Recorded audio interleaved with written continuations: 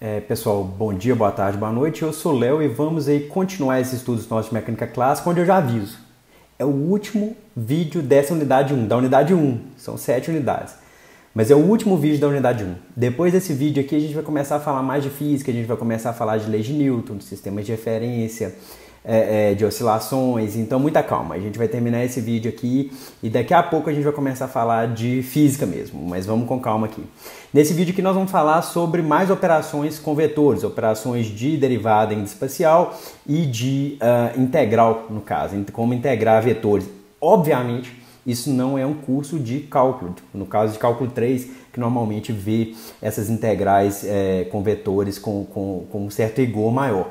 Aqui a gente já vai utilizar o resultado dado que é um pré-requisito certo? Mas eu vou rever aqui. A gente começou falando de transformações ortogonais, depois a gente definiu escalar e vetor. Escalar é um objeto que ele é invariante sobre uma transformação ortogonal de coordenadas e vetores eles têm uma, uma, uma certa transformação própria para a gente considerar um objeto como sendo, como sendo um vetor, dado que a gente fizer uma transformação ortogonal.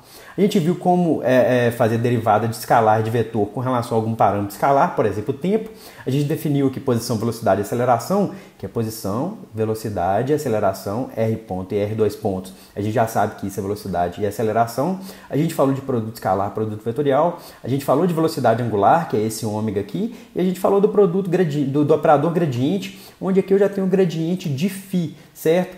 Nesse vídeo a gente vai utilizar mais um pouquinho esse, esse operador gradiente, sendo que a gente pode falar o seguinte, tá, a gente pode fazer a, a, a realizar a aplicação desse operador nabla de algumas maneiras e aplicá-lo não somente a funções escalares, como aqui ó, a gente tinha aplicado aqui esse nabla, esse operador gradiente, a gente aplicou em φ, certo? A gente pode aplicar esse camarada também em vetores. Mas como esse camarada aqui, a gente viu que esse camarada, a gente às vezes, às vezes a gente pode considerar esse sujeito como sendo aqui um vetor, ele não é um vetor, não é um vetor. Esse camarada aqui não é vetor, isso aqui não é um vetor, isso aqui é um operador diferencial, tá certo? Que ele faz derivadas, ele está envolvendo derivada no espaço, em, em coordenadas espaciais. É, mas a gente pode, às vezes, considerar esse camarada aqui como sendo uma aplicação num vetor e, aí, e assim por diante. E, e, aí a gente pode definir dois tipos de operação desse operador nabla em vetores, que são o, o operador del, o operador gradiente, depende de quem está falando aí. Eu, eu costumei falar operador nabla. A gente pode aplicar de algumas formas. Por exemplo, a gente pode definir o divergente. O divergente de um campo vetorial A, dado aqui esse campo vetorial A, o divergente é dado por esse camarada aqui. Ó. Tem alguns lugares que chama de div A, tem alguns lugares que chama assim, ó, divergente de A. Eu costumo tratar dessa forma, a notação que eu vou utilizar é mais dessa forma. O divergente a gente pode pensar nisso aqui, ó. vocês já viram isso lá em Física 3, certo? O divergente aqui de um campo vetorial V, ele é negativo se ele estiver entrando aqui para dentro aqui do ponto. Ele é positivo se ele estiver saindo aqui desse ponto aqui, tá certo? E aqui o divergente é zero porque a gente não tem nenhuma divergência, aqui eu tenho um campo constante nessa terceira figura aqui. Tá certo? Então vocês estão vendo que nessa primeira e nessa segunda figura, na, na da esquerda e na do meio, esses camaradas aqui eu tenho ou uma convergência num ponto, ou uma divergência desse ponto. Divergência de quê? De quê? Desse campo vetorial V aqui no caso. Tá certo? Então a gente pode definir que o divergente desse, é, é, de algum campo vetorial como sendo a aplicação desse é, é, é operador nabla desse operador nabla esse produto escalar ou essa aplicação desse, desse operador nabla nesse campo vetorial. Em coordenadas cartesianas, o divergente é dado por isso aqui, ó. é como se fosse mesmo um produto escalar. Eu vou deixar na descrição o produto escalar, ó, o divergente para coordenadas cilíndricas e esféricas. Vocês dão uma olhada aí. A vida não é tão simples igual em coordenadas cartesianas, não. As coisas podem piorar um pouquinho, certo? A gente pode também falar de rotacional. Rotacional, vocês também viram é, rotacional lá em Física 3, quando vocês viram lá falar de lei de Faraday. A lei de Faraday está relacionada com o rotacional, no caso, rotacional do campo elétrico induzido, que a gente falava lá, né? a força eletromotriz induzida, ela está relacionada com, com o rotacional de um campo elétrico, dado que eu tenho aqui uh, uh, uma taxa de variação temporal do campo magnético numa certa área, certo? Então a gente pode realizar também a aplicação desse operador nabla em vetores, fazendo, por exemplo, rotacional. O rotacional de um campo vetorial A ele é dado por esse camarada aqui, é o hot A ou rotacional de A. Vocês estão vendo que o rotacional ele tem a ver com esses vórticezinhos aqui, ó. Então, um campo que ele tem um rotacional diferente de zero, a gente tem esses vórticezinhos acontecendo aqui. A mesma coisa que essa rotação desse campo elétrico ao redor desse nesse fio aqui, que aqui eu estou gerando uma força eletromotriz, dado que eu tenho aqui um campo magnético variando no tempo. Em coordenadas cartesianas, o rotacional é dado por esse camarada, é como se fosse aqui um produto vetorial vetorial mesmo, é, mas muito cuidado, porque em coordenada cilíndrica e coordenada esférica, isso aqui muda. Eu vou deixar na descrição, vocês olham na descrição um PDF com essas, uh, uh, com o divergente rotacional em coordenada cilíndrica e esférica. Mas aqui, isso aqui eu só queria mostrar para vocês qual era a ideia. Do divergente eu tenho uma divergência de um campo aqui saindo de um, de um certo ponto, do rotacional eu vou ter criando esses vórtices, ou vocês podem pensar no campo elétrico induzido aqui. Certo? Beleza. A gente também pode a, a, realizar a aplicação desse, operador nabla sucessivamente, ob, obtendo aqui esse operador laplaciano. Esse operador laplaciano, vocês vão ver ele bastante em física. Ele é muito utilizado em física lá em mecânica quântica, lá em eletromagnetismo. Vocês vão ver muito esse operador laplaciano aparecendo aqui em várias partes em física, certo? Que ele é o que? Ele é a aplicação sucessiva desse operador nabla aqui, tá certo? Então ele é uma soma I da derivada segunda é, é, da posição no tempo. E vocês, ó, ó, ele é derivada segunda é, da posição, tá certo? E vocês estão vendo o seguinte, que esse operador nabla ele é o que? Esse operador nabla é uma taxa de variação de alguma coisa. Vocês estão vendo que aqui eu estou aplicando alguma coisa, aqui tá, inclusive está no vazio.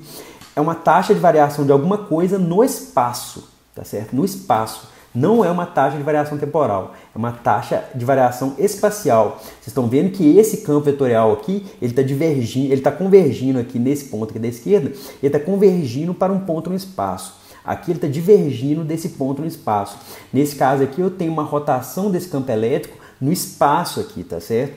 Então esse, esse operador nabla é uma taxa de variação espacial. Então isso a gente tem que, tem que saber interpretar isso muito bem. Não é uma taxa de variação temporal. É, um, é como que algum campo vetorial ou alguma função escalar está variando no espaço tá certo? No espaço que a gente está estudando aqui, é esse operador nabla, beleza? Então, esse operador laplaciano ele é denotado por, por esse nabla ao quadrado e atuar com o operador laplaciano, numa, aqui é laplaciano, né? eu errei aqui, né? laplaciano, laplaciano numa função φ escalar nos retorna isso aqui, tá certo? É, é, aqui era só uma soma em i, né? Essa soma aqui eu, eu, dupliquei ela, essa soma aqui não tem não. Então é uma soma em i, essa aqui não tem não. Então desculpa aqui, é, é, eu vou consertar isso aqui no PDF que eu vou deixar para vocês. Na parte de Laplaciano aqui também está errada. Laplaciano, certo? Não vou tirar esse vídeo não, porque o vídeo está até legal até então. É, então, atuar com o operador Laplaciano numa função φ escalar, ele nos retorna, tirando essa parte aqui, né? tirando esse somatório aqui, ó, esse aqui está errado, ele nos retorna a soma em i da derivada segunda de φ com relação à coordenada xi certo a derivada segunda. Isso eu, isso eu quero que vocês entendessem aqui nessa parte aqui. Atuar com esse operador nabla, eu estou fazendo uma derivada espacial da minha função ou do meu campo vetorial. É uma derivada espacial, tá certo? É uma derivada espacial, não é uma derivada temporal. Eu tô, eu tô vendo qual é a taxa de variação da função ou do campo vetorial no espaço, tá certo? Então, bacana. Aí agora nós vamos falar de integração de vetores. Primeiro nós vamos falar de integração de vetores no volume, depois na superfície, depois de linha. Não dá para falar disso aqui tudo em uma aula aqui de 10 minutos. Isso aqui eu só estou apresentando para vocês. Seria interessante vocês pegarem exemplos e irem fazendo. Eu vou deixar isso de tarefa para vocês. Mas tentem é, é, ver qual que é a ideia macro disso que eu estou apresentando aqui, tá certo? Então, olha só, seja uma função vetorial, um campo vetorial A, que ele depende de x1, x2, x3. Então, é um campo vetorial que está espalhado aqui no espaço, certo? A integral desse camarada no volume, é, no espaço, eu estou chamando o volume aqui de tal, eu vou evitar chamar de V, porque pode confundir com energia potencial, então eu vou tentar evitar chamar de V, a menos que for dito o contrário. Então, a integral desse campo vetorial no volume no espaço, eu vou denotar aqui para integral no volume de A d tal. Isso aqui ela tem essas três componentes, é A1 d tal, A2 d tal, A3 d tal. A integral é no volume, ela é no volume. Então nós temos que observar qual que é o elemento de volume para cada situação. Pois a gente pode usar a coordenada cartesiana, a gente pode usar a coordenada cilíndrica, a gente pode usar a coordenada esférica. Se você que está vendo aí ainda tem dúvida com relação a coordenadas cartesianas, cilíndrica e esférica, aconselho pegar o PDF que está na descrição e dar uma olhada é, é, na, em como escrever tanto o elemento de volume quanto os elementos de área em coordenadas cartesianas, cilíndricas e esféricas. Seria interessante vocês até de repente fazer esse desenho e dar uma estudada nisso certo? É, então, exemplos aqui de elementos de volume, em coordenadas cartesianas, o elemento d tal é dx, dy, dz, é um cubinho, certo? É um, um pedacinho de um, é um cubo, com altura dz, comprimento dx e largura dy. É, em coordenada cilíndrica, o d tal é ρ, d rho, d φ, dz, Onde aqui eu estou usando Rho, de vez em quando eu vou trocar para S, mas aqui eu estou usando Rho como sendo a, a, a, coordenada radial em coordenadas cilíndricas. Em, em, coordenadas cilíndricas, a dimensão radial aqui eu estou chamando de Rho, tá certo? Então é Rho, d Rho, d Φ, dz. Em coordenadas esféricas, a, o elemento de volume vai ser R2 seno θ, dr, d Φ, d θ. Uma coisa que eu queria que vocês pensassem é o seguinte, se é elemento de volume, a unidade desse camarada tem que ser é, é, metro cúbico ou é, é uma, um, uma, uma, uma, uma unidade de distância ao cubo, certo? Então olha só, porque aqui a gente vai estar trabalhando de mecânica, então beleza. Então elemento de volume eu tenho aqui, ó, x, y, z, cada um, a unidade da, da distância em x, y z é metro. Então eu tenho aqui metro, metro, metro, metro ao cubo. Em coordenada cilíndrica eu tenho o quê? Rho tem, tem, tem unidade de metro, porque Rho é a distância radial no, quando eu estou trabalhando em coordenada cilíndrica nessa notação que eu estou usando aqui agora. Então, Rho é distância? É, então é metro. D Rho é distância? É, é metro. DZ é distância? É, é metro. Só que Dφ não tem unidade, porque ângulo não tem unidade, radiano não é, não, não é unidade.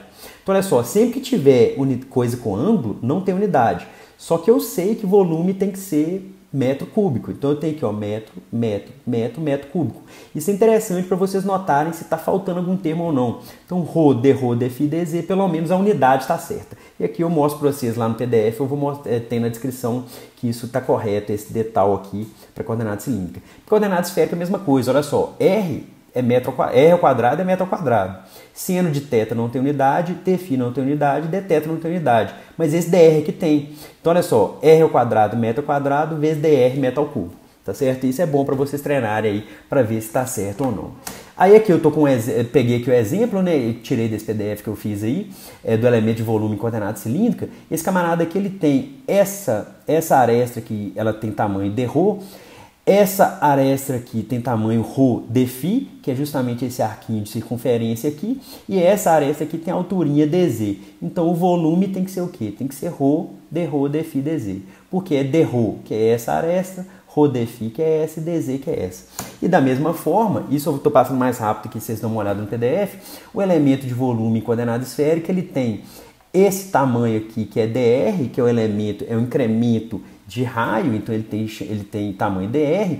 Esse tamanho aqui tem tamanho R de teta e esse camarada aqui tem tamanho R seno de teta de φ certo? De forma que o elemento de volume é esse camarada vezes esse vezes esse. Então é r quadrado seno de teta dr dφ dθ. E aí dá para vocês notarem isso, certo? E a, e a integral no, no, espaço, né? A integral de um campo axi numa superfície, ela é dada pela projeção desse campo sobre a normal relacionada àquela superfície, certo? Essa é, é a definição de uma integral de superfície ou integral numa certa área de um campo vetorial. Então, olha só, a integral de um campo A que depende aqui de uma certa coordenada numa superfície, ela é dada pela projeção desse campo sobre a normal relacionada àquela superfície. Que que se... Quando eu estou falando de projeção, é sempre produto escalar. Quando a gente está falando de projeção, é sempre produto escalar. Eu vou projetar alguma coisa em outra. Então, a integral de superfície desse campo A, a integral de superfície desse campo A é a integral de superfície do campo A escalar dA. Com esse dA sendo o elemento de volume nessa direção N chapéu tá certo? Então esse DA ele pode ter, a gente pode escrever de várias formas. Esse DA aqui eu estou colocando que ele é um, um, um, elemento de um vetor que ele tem aqui é, é, é, componentes DA1, DA2, DA3. Cada DAI, nesse caso, é a projeção do elemento de área nos planos locais de eixos perpendiculares. Como que funciona isso? Vou deixar vocês verem no PDF, no próximo slide eu vou dar algum exemplo, tá certo? Assim, essa integral desse campo vetorial A nessa superfície S é integral de A escalar dA nessa superfície S, porque eu tenho que pegar o campo vetorial projetado na normal aquela superfície, certo? Então a integral de A escalar n dA, que vai dar justamente isso aqui, é a integral da soma de AI dAI é, nessa superfície S, certo? Mas se queremos a projeção de A sobre a normal, resta saber qual a normal. Porque se eu tenho uma área, se eu tenho um, objeto aqui que é uma, uma folha, assim, por exemplo, eu posso ter essa área aqui apontando é, é, é, é para cá. Cadê uma caneta? Deixa eu achar uma caneta aqui. Eu posso ter uma área aqui apontando aqui para cá, certo? Só que eu posso ter uma área apontando para cá também. E aí, como é, qual, qual área que eu tenho que escolher? Se a superfície é fechada, isso é fácil, né? Porque se eu tiver uma bola aqui, por exemplo, essa superfície dessa, desse estojinho aqui, estojinho aqui tem uma superfície, ele está fechado, certo? Se a superfície é fechada, a gente adota, isso é, é, é, é convenção, né? A gente adota que esse N chapéu ele está apontando sempre para fora, tá certo? Então ele vai estar tá sempre apontando para fora desse estojo, tá certo? Se a superfície é aberta, aí de fato fica ambíguo. Aí vai ter, que, vai ter que olhar em cada caso. Então, se eu tenho uma superfície aberta dessa forma aqui, aí é um ambíguo. Aí alguém tem que falar, não, a superfície que eu estou calculando vai ser essa que, que eu estou apontando junto com o dedo aqui. Ó, tem um cachorro latindo aí. Certo? Mas fica ambíguo, mas só que aí dependente de cada caso dá pra gente é, é, selecionar direito qual que é a superfície que a gente está trabalhando. E aí, como exemplo, eu peguei aqui ó, um elemento de área de arro em coordenada cilíndrica. Quem que é de arro? De arro é o elemento. Vou voltar aqui, ó. DAI é a projeção do elemento de área no plano local de eixo perpendicular, certo? Então, DARRO. DARRO é o plano local de eixo perpendicular RO, tá certo? Se o eixo perpendicular é esse, esse eixo perpendicular RO, quem que eu tenho aqui? Ó? O eixo perpendicular é Rho e o plano local é esse camarada. Quem que é esse plano local? Esse plano local ele tem a altura dz e ele tem a, a, a base dele vai ser ρ de ρ, que é justamente esse elemento, é, é, é, esse arquinho de circunferência. Então ele tem esse arquinho de circunferência ρ de φ e ele tem essa altura dz.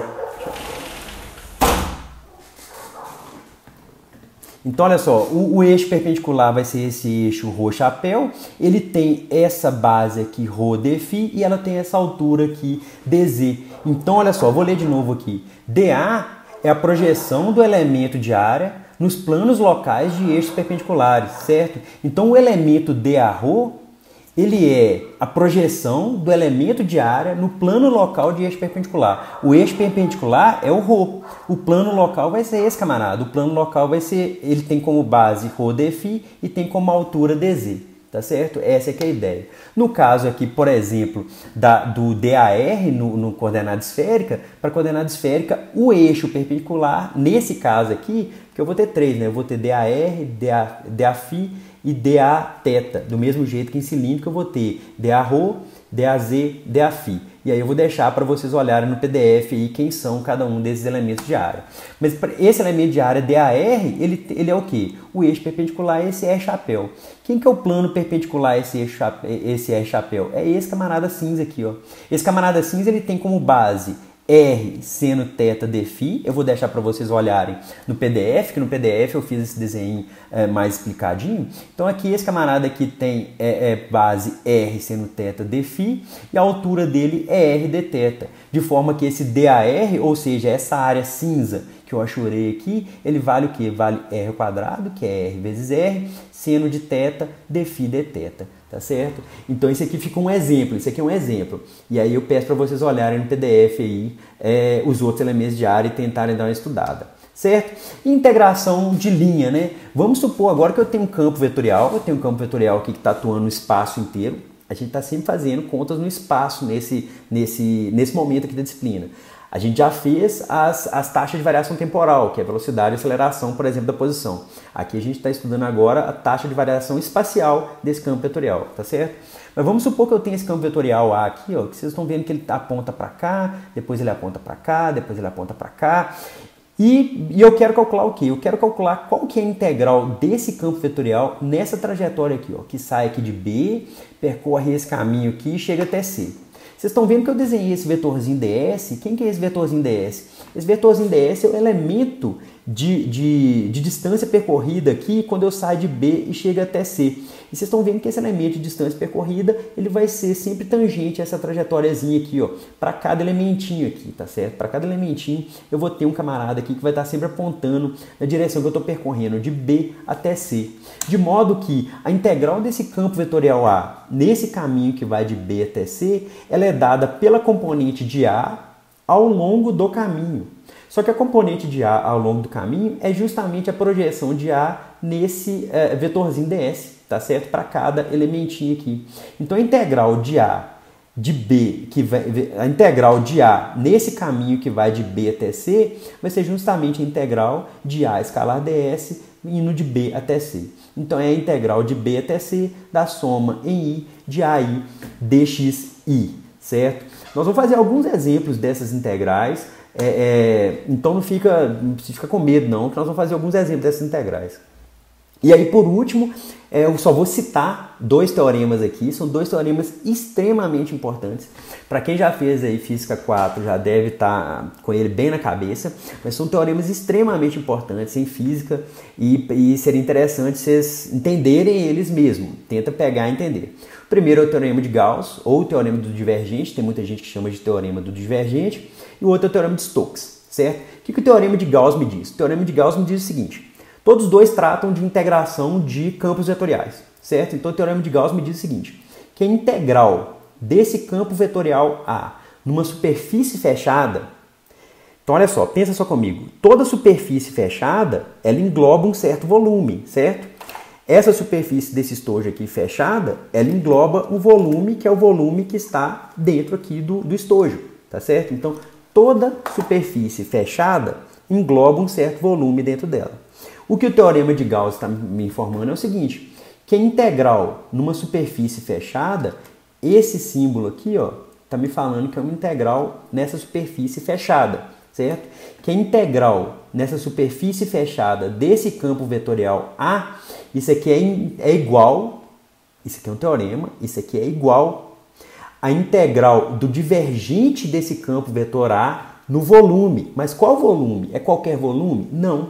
É o volume que está sendo englobado pela superfície.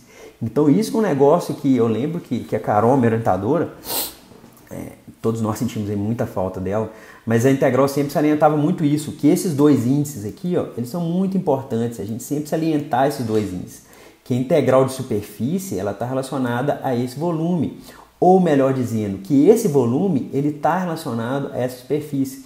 Ele não é qualquer volume, tá certo? Ele é um volume que está dentro dessa superfície fechada, tá certo? Por quê? Porque toda superfície fechada ela engloba um volume dentro dela, tá certo? Então o teorema de Gauss ele me diz o seguinte, que a integral desse campo vetorial A numa superfície fechada é igual à integral do divergente de A nesse volume, que é o volume que está sendo englobado por essa superfície.